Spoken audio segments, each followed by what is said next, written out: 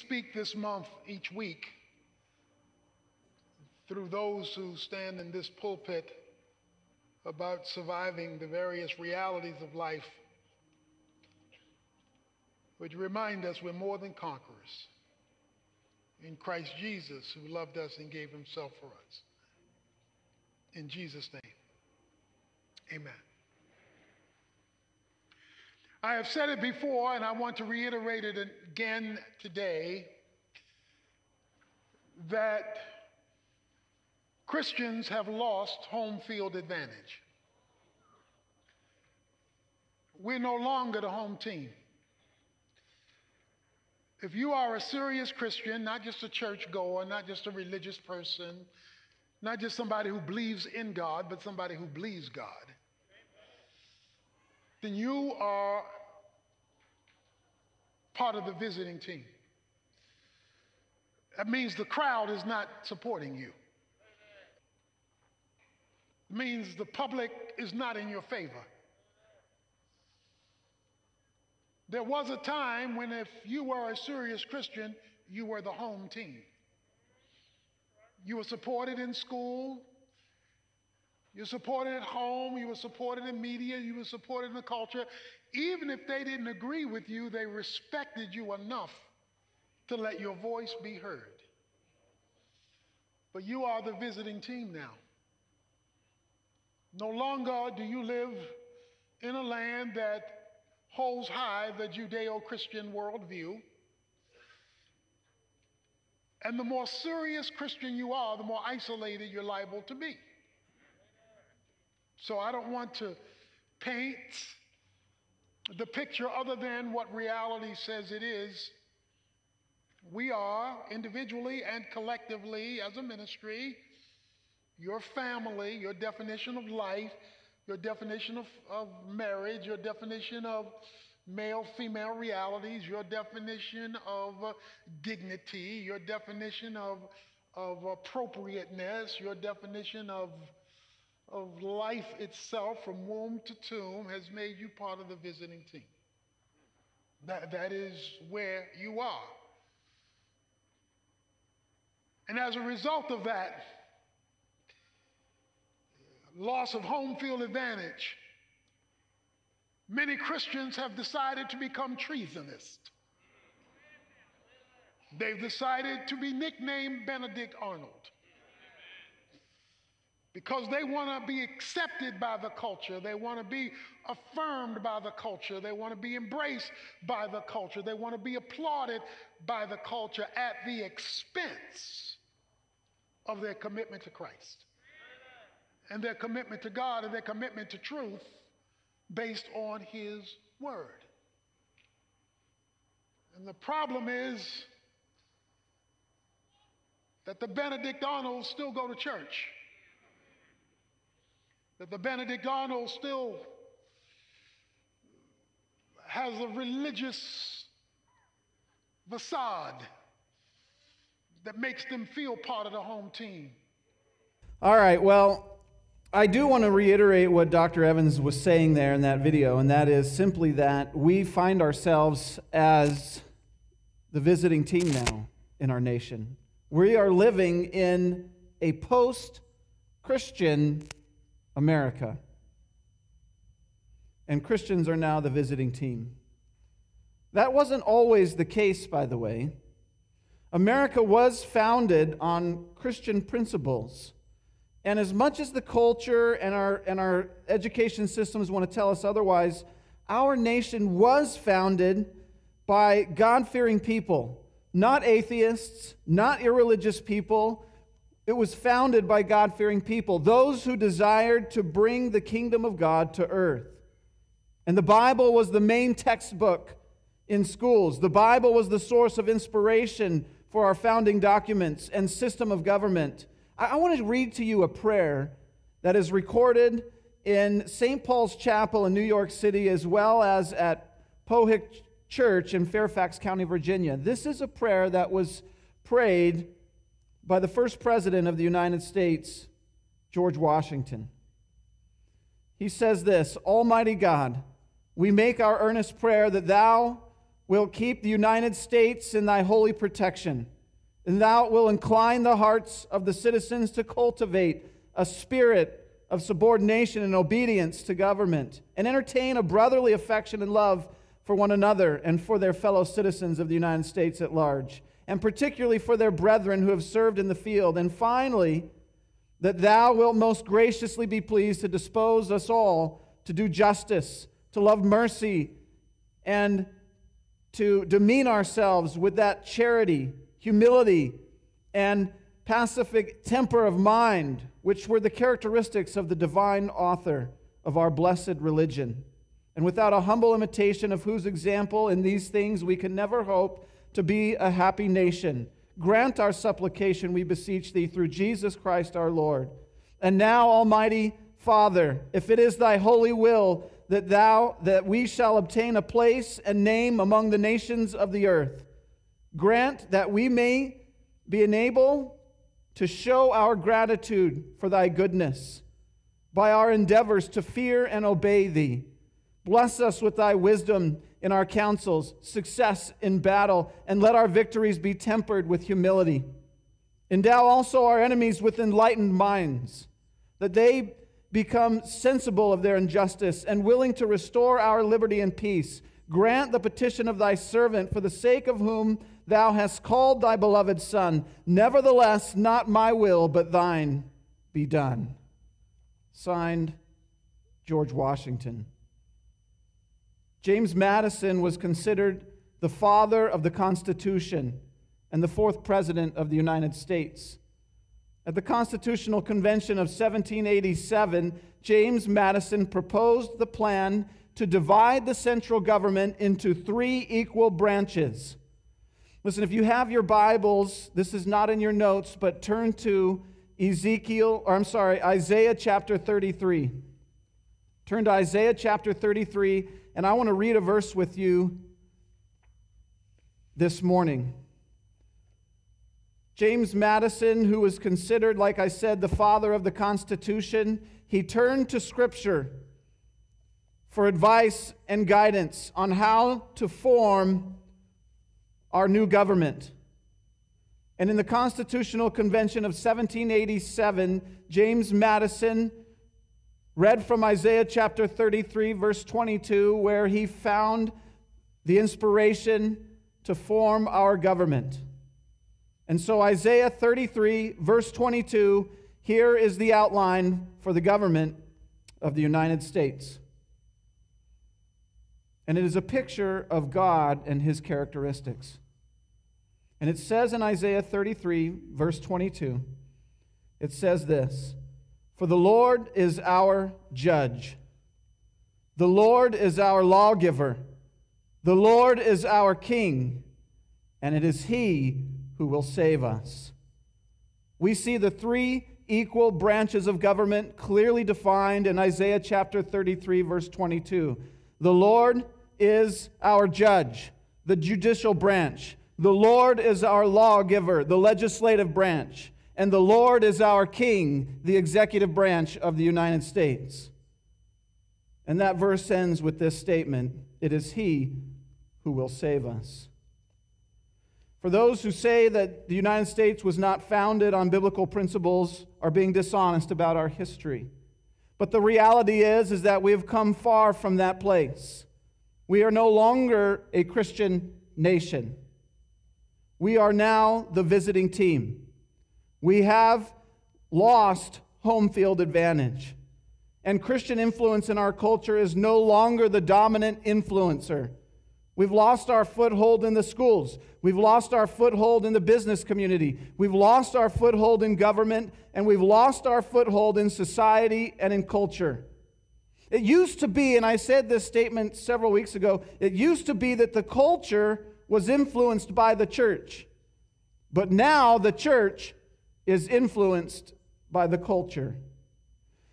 Noah, my son Noah, had his first game on Friday. He plays drums for the Hemet High band, and so it was pretty awesome to be back out on the, on the field and back out in, in a normal setting like that. And uh, so it was fun to be there and watch him playing. And it reminded me back when I was in high school. I was a band nerd in high school, okay? But in Texas, where I went to high school, they weren't nerds, all right? I just want to clarify that. We weren't nerds. We were really cool. And so, but, but I remember one day, one of the big rival schools that we always, uh, you know, competed with was, was Cleburne High School. So I went to Joshua High School. Cleburne was a neighboring town. And I remember being in the bleachers as a visiting team at the football game there in Cleburne. You know, when you're on the visiting team in the bleachers, your bleachers aren't as nice as the home team. Theirs are painted and have the logo of their school and the, the mascot on them. Ours are just bare metal, you know. And, uh, and if you go to Hemet High, it's the same, by the way, right? The bleachers are the same. The visiting team gets, you know, the second class seats. And, uh, you know, when you're the visiting team, you don't have a big crowd there cheering you on. You don't have all of the students and the staff there and all of their paraphernalia, you know, their, their swag, their, their school swag, you know, wearing all the colors and things like that, cheering you on. And you feel like a second class attender. You feel like you have a disadvantage. And on, you know, one of the things that Hemet High was missing, and hopefully they'll fix this, but they didn't have their mascot out on Friday night. In fact, Katie was, said that to me because, by the way, this is a secret. You can't tell anybody this, all right? But, but Katie is the Dartmouth mascot over at Dartmouth Middle School. Now, nobody's supposed to know that. But if you ever see the Dartmouth Knight outside, you know, greeting kids or doing whatever, that's Katie, my daughter, all right?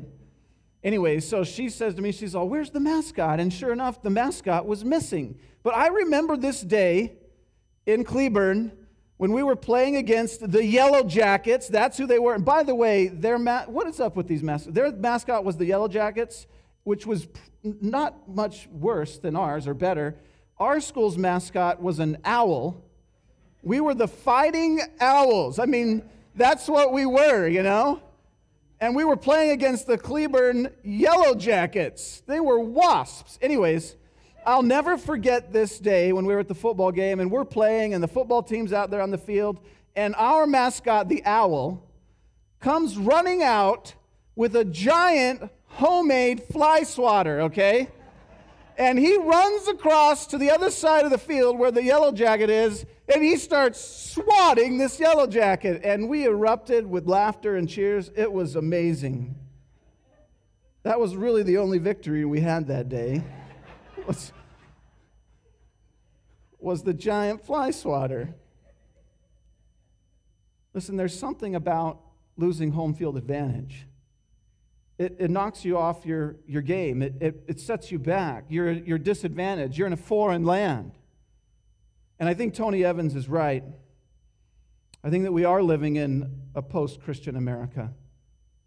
I want to read to you some words that John records, or I'm sorry, not John, but John the Baptist. This is a story about John the Baptist in the book of Luke. This is in Luke chapter 3. And I just want to read um, a little excerpt here as John the Baptist is talking about Jesus, and he's describing Jesus.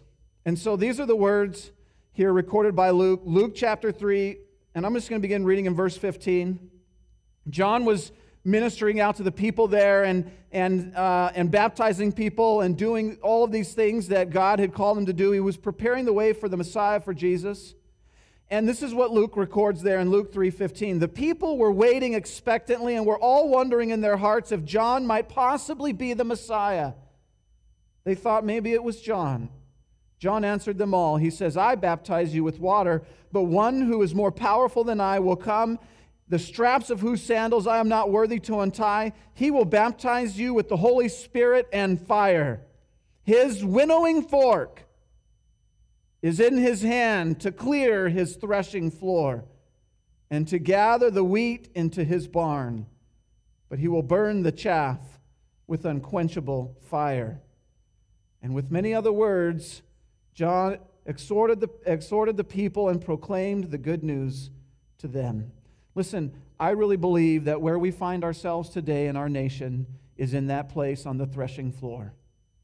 I think God has thrown the church in America and the world to the threshing floor. And here we find ourselves on the threshing floor, and he has his winnowing fork in his hand, and he is clearing the threshing floor and is separating the wheat from the chaff. And the church is in this place now of being thrashed, if you will, of being shaken. We're finding out what will remain after the shaking takes place. Now, let me say this I don't necessarily think this is a bad thing. I want to remind you that God is in control. And God is doing His work and His plan. And if it's His choice to throw the church to the threshing floor, that He might sift the wheat from the chaff, that is His prerogative. He is God, the creator of the universe. But nevertheless, here we are, and here we find ourselves in this place. Which brings us to Revelation chapter 3 today. We are going to be looking at the very last church that Jesus addresses here in Revelation chapter 3. This is the church of Laodicea. It is the church, I believe, that best describes the church in our present day. In fact, let's read this together. I'm just going to begin reading in verse 14 there in Revelation chapter 3. And again, John is recording this great vision that he has, and he's recording the words of Jesus himself. And here's what Jesus says in verse 14 To the angel of the church in Laodicea, write, These are the words of the Amen, the faithful and true witness, the ruler of God's creation. I know your deeds, that you are neither cold nor hot. I wish you were either one or the other. And so, because you are lukewarm, neither hot nor cold, I am about to spit you out of my mouth. You say, I am rich. I've acquired wealth and do not need a thing. But you do not realize that you are wretched, pitiful, poor, blind, and naked. I counsel you to buy from me gold refined in the fire so you may become rich, and white clothes to wear, so you can cover your shameful nakedness, and salve to put on your eyes so you can see. Those whom I love, I rebuke and discipline. So be earnest and repent. And here I am. I stand at the door and knock. And if anyone hears my voice and opens the door, I will come in and eat with that person and they with me. And to the one who is victorious, I will give the right to sit with me on my throne, just as I was victorious and sat down with my Father on his throne. And whoever has ears, let them hear what the Spirit says to the churches. The first point today that I want to make with you is this that to fix our problems, which I don't need to explain the problems, they're everywhere, okay? I mean, we have problems everywhere. In fact, there is a mess happening right now in Afghanistan. Franklin Graham has called us today as a nation to pray for the people who are in Afghanistan, who are losing their lives currently because of their faith in Jesus Christ. It is a shameful day for our nation, and it is an, I hope it's an awakening for us as believers. That we have it really good here in America. In spite of the challenges we face, we're not waking up this morning wondering if someone's going to knock on our door and behead us. But there are those in the world today that that is a reality for them. And so, to fix our problems, we must appeal to our Creator. It's really interesting the way that Jesus describes himself. You know that as we've been looking at these churches, Jesus describes himself in very unique ways as he addresses each church. This particular church, he says to them, These are the words of the Amen, the faithful and true witness, the ruler of God's creation. And so Jesus is saying to them, He is the Amen. He is the affirmation of all things that are God and good. That's what amen is. It's an affirmation, it's a yes, it's a, it's a profound yes. And so these are the words of Jesus, who is the culmination of God, who is the very embodiment of God, who is the yes, the amen. He is the faithful and true witness of God. He is the ruler of all of God's creation. You know, I think one of the greatest attacks the devil has brought on us today is the worshiping of God's creation rather than the worshiping of the Creator Himself. Our culture has bought into the idea that we have a Mother Earth who is our God, that we must bow to and worship and fear rather than the Creator Himself.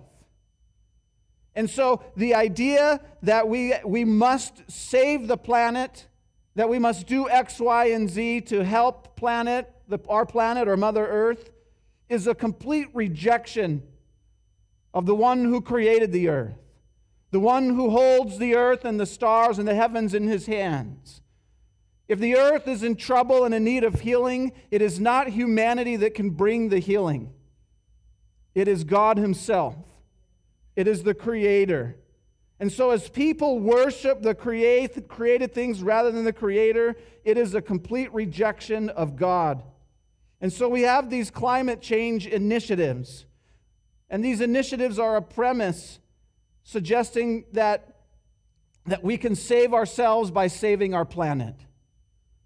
And so many people have bought into this idea that in order to save humanity, we must save the planet.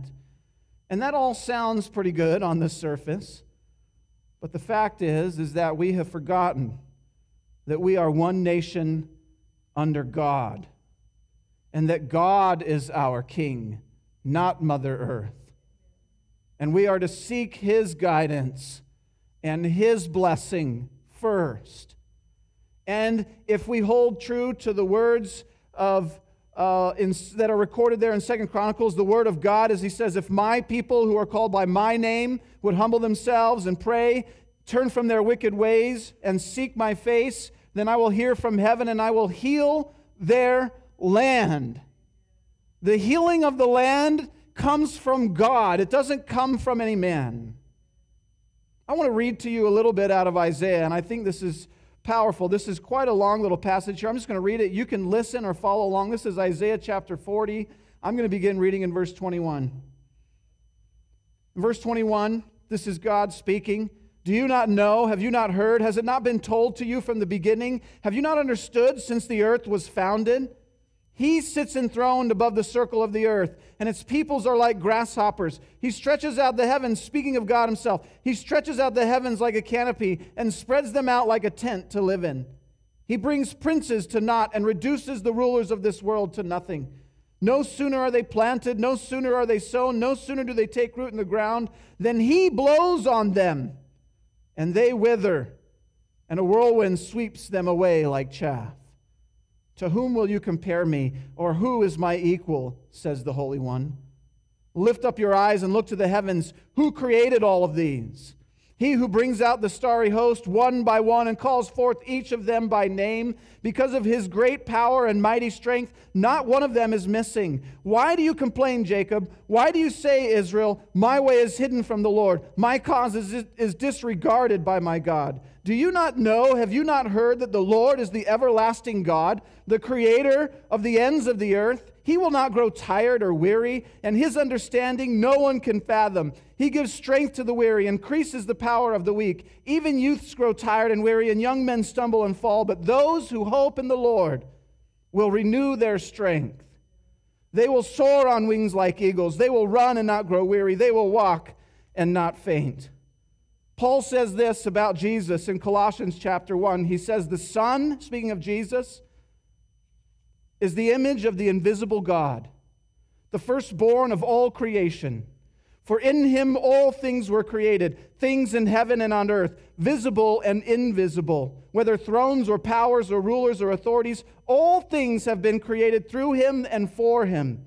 He is before all things, and in, in him all things hold together. And he is the head of the body, the church.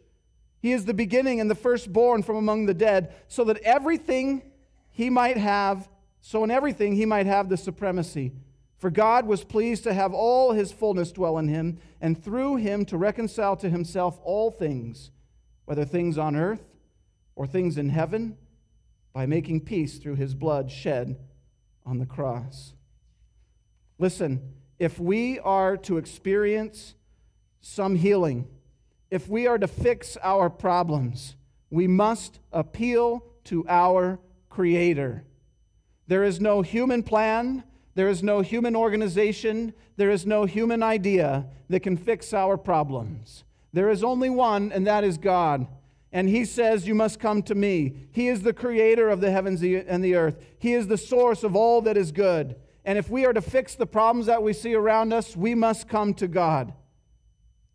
We must reject these ideas that are being promoted today about climate change and Mother Earth, and we can save the planet and we can do all of these things. If we are to save ourselves and our planet, we must come to God. One of the interesting things about this church in Laodicea is that they fully believed that they had it all together. Jesus describes them as being rich. They were affluent. They had money. They had beautiful facilities. They were comfortable. They didn't worry about where the next meal would come from or if they would be able to eat or whatever it was. The people in this church were affluent, which I really think describes many of those in the church today, and it describes many of the churches in the Western world. And so the point is simply this that if you try to play the middle, which is what this church was doing, if you try to play the middle and please both the world and Jesus, it's going to lead to a compromised life and to what Jesus describes as being lukewarm, which, by the way, is probably one of the worst things that you can be. He even says, I would rather you to be cold or hot than to be lukewarm. And so, in Jesus' mind, in the mind of God, to be lukewarm is one of the worst places you can be. To have one foot in the world and one foot in the kingdom of God is the pure description of lukewarmness. Look at what he says in verse 15. He says, I know your deeds, that you are neither cold nor hot. I wish you were either one or the other. And so, because you are lukewarm, that you are neither hot nor cold, I am about to spit you out of my mouth. You say, I am rich, I have acquired wealth, and do not need a thing, but you do not realize that you are wretched, that you are pitiful, that you are poor, that you are blind, and that you are naked. I heard Greg Laurie say this. He says, Show me a Christian who is compromised, and I'll show you a Christian who is headed for ruin. Show me a Christian who is compromised, and I'll show you a Christian who is headed for ruin. Charles Spurgeon, in one of his great sermons, a sermon entitled An Earnest Warning Against Lukewarmness, he says this about lukewarmness. Now, he wrote this a long time ago, but listen to how the words ring true even today. He says this as he describes the lukewarm church They have prayer meetings but there are few present, for they like quiet evenings alone. When more attend the meetings, they are still very dull, for they do their praying very deliberately and are afraid of being too excited.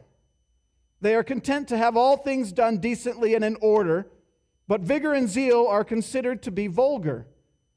They may have schools, Bible classes, preaching rooms, and all sorts of agencies, but they might as well be without them, for no energy is displayed and no good comes from them. They have deacons and elders who are excellent pillars of the church. If the chief quality of pillars be to stand still and exhibit no motion or emotion, the pastor does not fly very far in preaching the, go- the, the everlasting gospel, and he certainly has no flame of fire in his preaching. The pastor may be a shining light of eloquence, but he certainly is not a burning light of grace, setting men's hearts on fire. Everything is done in a half hearted, listless, dead, and alive way, as if it did not matter much whether it was done or not. Things are respectably done. The rich families are not offended. The skeptical party is um, conciliated. And the good people are not quite alienated things are made pleasant all around. the right things are done, but as to doing them with all your might and soul and strength, a Laodicean church has no notion of what that means.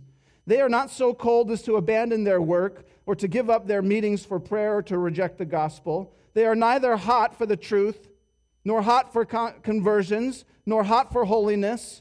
They are not fiery enough to burn the stubble of sin, nor zealous enough to make Satan angry nor fervent enough to make a living sacrifice of themselves upon the altar of their God. They are neither cold nor hot. They are lukewarm. And I really believe that as Jesus is addressing the churches, this is the most profound and damning statement that he has made to a church to this point. You are the lukewarm church, and you disgust me to the point of making me want to vomit. That's what Jesus is saying to the church in Laodicea. The lukewarm Christian makes the Lord sick by denying Christ's deity. They don't believe that he says he is what he is. It's one of the reasons why Jesus says in his introduction, I am the creator. I, I hold all of this in my hands. He introduces himself as, as the Son of God, the creator of the universe, the one who holds all the power. The lukewarm church has, has slowly walked its way into a place of complacency, of no fear of God, of not believing who He is and what He stands for. And thus they have one foot in the world and one foot in heaven. And Jesus says that type of living disgusts me. I would rather you'd have both feet in the world than to be halfway in between. Think about that for a minute.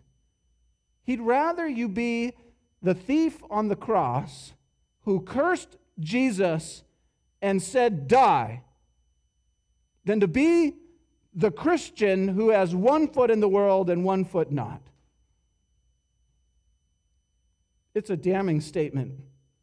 It should be a wake up call to all Christians and believers today.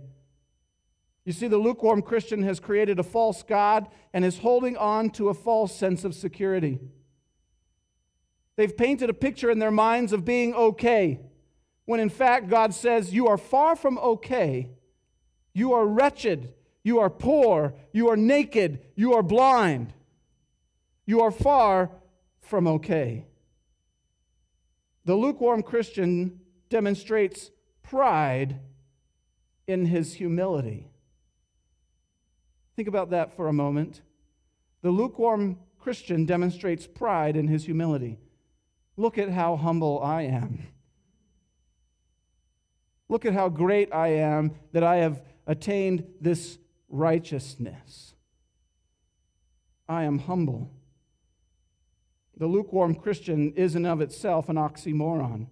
They are what I would call a proud ragamuffin. I brought a little something to show you this morning. It's kind of, I'm going to do a little show and tell. Is that okay? Okay, good. So, sorry, uh, sorry, Carissa, you're probably chasing me with the camera, or Lloyd. But this is Mickey Mouse. Okay, now this is not just an ordinary Mickey Mouse. This Mickey Mouse is my Mickey Mouse. Okay? And I got this Mickey Mouse at Disneyland when I was probably I'm going to guess five or six years old. Okay? Now, you can't see it, but he's got dried bubble gum on his ear right here. And I was trying to clean it off last night, and I thought, well, that's not going to come off. So I'm just going to leave him there. But I brought my Mickey for you because to show you because he is my ragamuffin. When I was a little boy, I would carry this Mickey around, just like most little kids have a little, uh, you know, doll or a blanket or something that they carry that helps them to fall asleep or helps them to feel safe and to reduce their anxiety and things like that. And so this little Mickey was my ragamuffin. It didn't matter what he looked like to me, it just mattered that he was with me. I found him in a box in the attic. I haven't actually held this thing in I don't know how long. But, uh, but I went last night and fished him out of the box so I could show you. This is my ragamuffin. The Christian church in Laodicea is much like this Mickey tattered, beat up, bubblegum on the ear. The paint on his eyes is coming off too, and I don't know what I did to his nose, but it looks like it's not in its original state. And Katie was looking at him this morning, and he's got some weird stitching on the back here. And I don't know if someone in my life, my mom or someone, stitched him up or if that's just how he came. But, but nevertheless, he's pretty beat up. And it would be foolish for this Mickey to say something along the lines of how amazing he is, because when we look at him, he's not amazing. He's a ragamuffin. Someone said he's cute. Listen, the last point this morning is simply this. Even if you've wandered away from God, there is hope. He still loves you. He's offering you a wealth of heavenly blessings. I think we all need to come to a place where we realize that we are, in fact, all ragamuffins. If we forget where we've come from, Paul the Apostle says, even on my best days, I'm only presenting filthy rags before God. Paul never forgot that he, in fact, was a ragamuffin and that he walked around on this earth not with his chest puffed out because he was something great, for he was not something great. He was, as Jesus described, poor, wretched, naked, blind. And it was only by the grace of God that he was something. And so Jesus is saying to these Christians, to this church in this place, he's saying there in verse 18, he says, I counsel you to buy gold from me, gold refined in the fire, so you can become rich. See, they were not rich. They thought riches came from physical wealth, from dollars or coins or things like that. That's not what makes you rich. He says, Buy from me this gold that's refined in the fire so that you can become rich, and white clothes to wear so you can cover your shameful nakedness, and salve to put on your eyes so you can see.